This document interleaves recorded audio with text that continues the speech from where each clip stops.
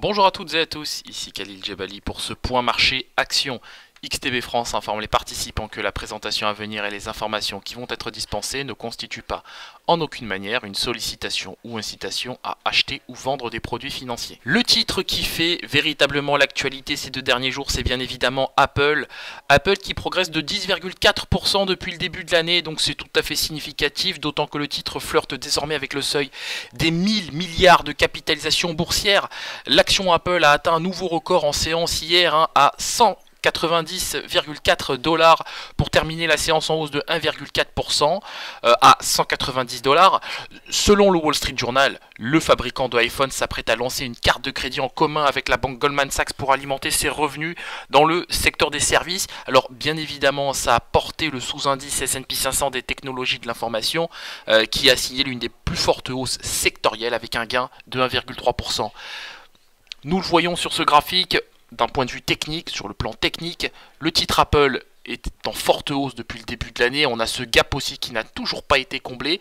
Euh, alors, la toile de fond est clairement haussière sur ce titre, hein, puisque les prix euh, fluctuent nettement au-dessus des moyennes mobiles à 7 et 21 périodes. Nous avons un RSI qui a intégré sa zone de surachat. Alors, sans grande surprise, on aura un biais acheteur sur ce titre et nous pensons que l'action pourrait rallier dans les prochaines séances le seuil des 195 dollars. Parlons maintenant de Air France, Air France KLM qui a annoncé un trafic passager réseau en baisse de 3,4% sur le mois d'avril hein, sur la base de capacité en retrait de 3,8%, ce qui aboutit à un coefficient d'occupation en amélioration de 0,4 points à 87,9%. Bien évidemment, hein, la compagnie aérienne, vous le savez, fait l'actualité.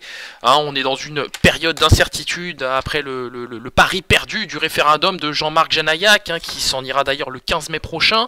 Donc Évidemment, tout cela s'annonce compliqué, d'autant que son partenaire néerlandais KLM craint d'être emporté dans la crise. Air France a déjà perdu 400 millions d'euros depuis le début, euh, depuis le début de cette crise, hein, depuis, le, début des grèves. Alors évidemment, hein, on parle notamment dans les échos d'un gâchis national. Alors évidemment, je ne fais que citer. La compagnie aérienne a indiqué avoir transporté quelques 6,9 millions de passagers sous la bannière Air France KLM et hop. Euh, donc pour l'heure, ce qu'on peut dire sur le titre Air France d'un point de vue technique, c'est qu'on a évidemment ouvert en gap baissier après l'annonce de la démission de Jean-Marc Janaillac. Donc visiblement c'était quelqu'un, c'était quelqu'un, enfin c'est quelqu'un plutôt je devrais dire d'apprécier des marchés financiers. Pour l'heure, sur le plan technique, on est porté par les moyennes mobiles à 7 et 21 périodes.